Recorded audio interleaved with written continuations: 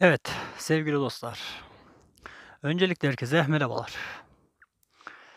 Buraya çıkana kadar gerçekten eee, bu alanı göreceğim diye gerçekten çok seviniyordum. Uzun zamandır gelmek isteyip de gelemediğim bir alandı. Ve nihayet bu alana çıkmak nasip oldu. Ama buraya çıktıktan sonra, şu an şu görüntüyü gördükten sonra içimdeki tüm hevesim kırıldı. Yani üzüldüm.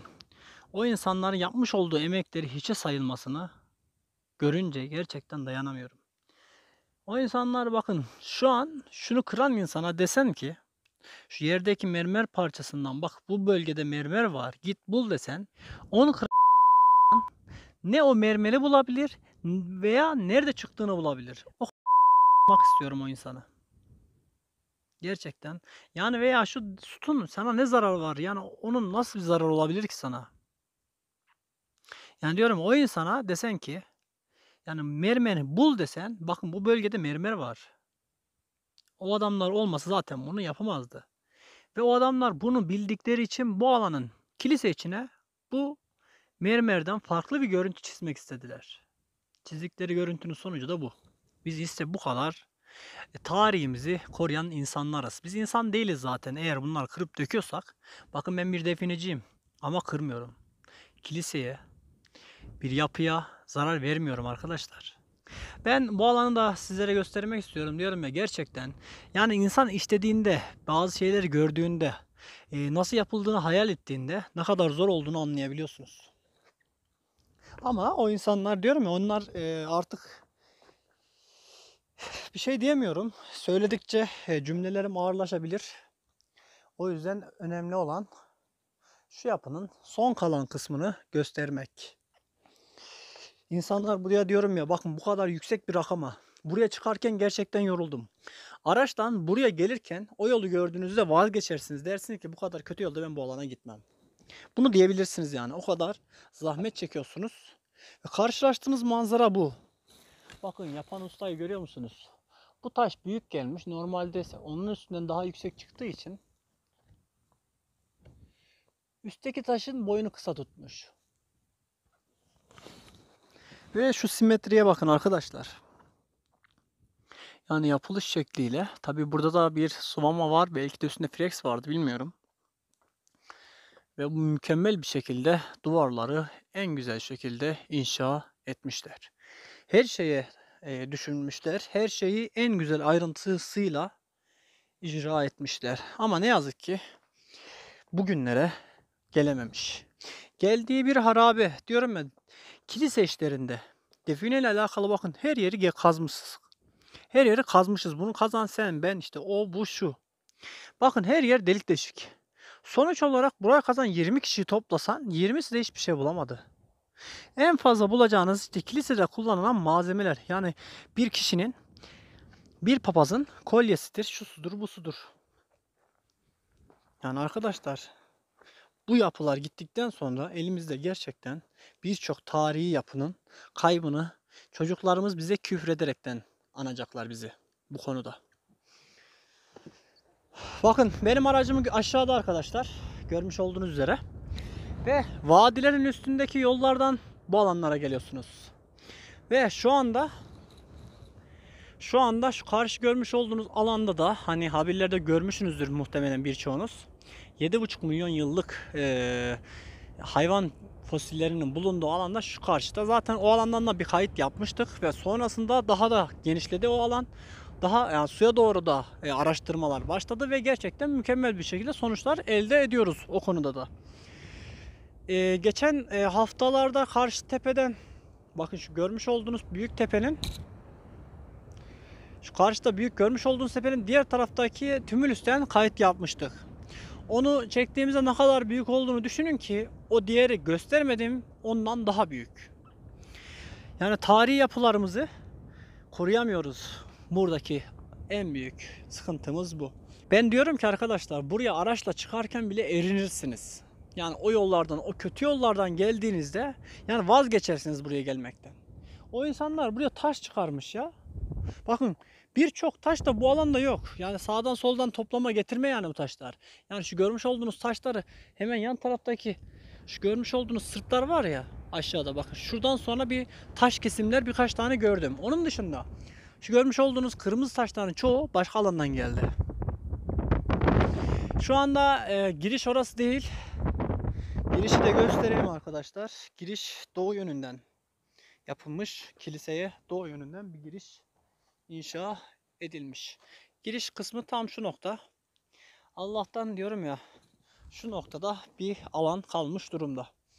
Şu eee sütun yani gerçekten en çok üzüldüğüm kısımlardan birisi. Yani bunu nasıl kırmayı yani o adam bunu işlerken bunu ovalleştirirken kaç gününü verdi ne kadar yoruldu elleri şişti belki elini kesti yani sırf amacı e, karnını doyurmak ekmek parasıydı ama maalesef şu anki durumunu görüyorsunuz. Şu diğer mermer parçalarını da incelemek istiyorum. O bir mezar mı taşı mı? Yoksa Evet.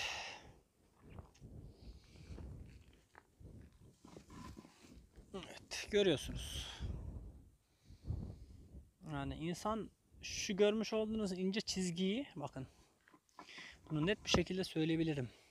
Şurada bakın bir düşük seviye var. Üstünde bir küçük bir taç şeklinde bir alan var. Bu sert bir taştır.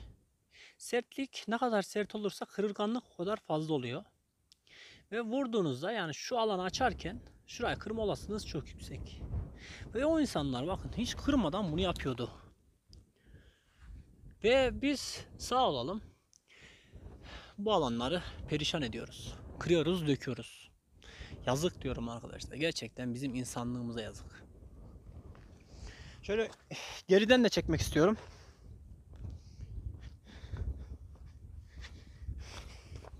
Yani bu kadar zahmete giriyorsunuz.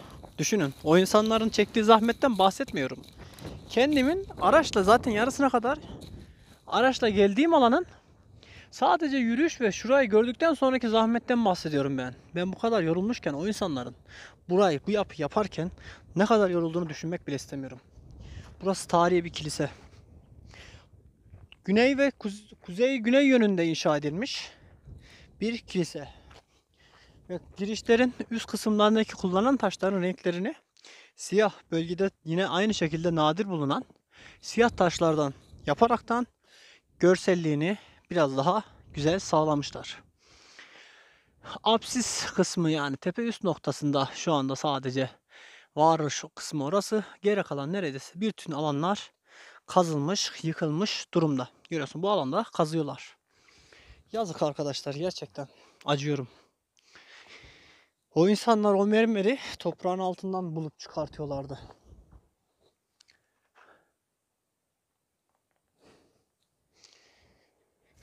Yani şu kapıdan girdiğimde buranın kapalı bir şekilde şu şekilde direklerin şu görmüş olduğunuz sütunun eee, şu kemer sisteminin apsisin her şeyin durduğunu hayal ettiğimde gerçekten ne kadar güzel bir görüntü olurdu.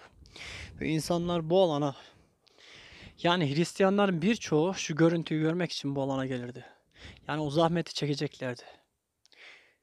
Ama maalesef o gelecek insanlar dediğimiz insanlar asla bu alana kırılmasından, dökülmesinden dolayı gelmeyecek. Fazla uzatmayacağım arkadaşlar. Şu anda daha detaylı bakacağım. Diyorum ya. Burada sütun bir tane değilmiş bu arada. Bir diğer sütunun parçası. Görüyorsunuz. Bu da sütunun diğer parçasının. Yani sütunun biri beyazken diğeri biraz daha damarlı bir eee, şekilde olduğu için kırmızı. Yani farklı iki sütun arasında farkı gördünüz. Şu ovalden anlayabiliyorsunuz. Kendinize iyi bakın arkadaşlar. Görüşmek üzere. Allah'a emanet olun. Diyorum ya bu gibi alanları kırmayalım, dökmeyelim. Ya define arayabilirsiniz. Gerçekten mantık üzerine. Yani yaptığınız işi mantık üzerine yaptığınızda define arayın. Gerçekten ben hiçbir zaman aramayın demiyorum. Kendim defineciyim sonuçta. Ama bu gibi alanlarda bu yani duvarın içinde define vardır diye duvar kırmak veya bir yazı, bir kitabe kırmak veya bir tünelin içine girip tünelde duvarlarında bir şey vardır diye yani bilip bilmeden kırmak yani bu definecilik değildir arkadaşlar. Bu cahiliyettir. Bu şekilde bitirmek istiyorum. Kendinize iyi bakın. Görüşmek üzere. Allah'a emanet olun.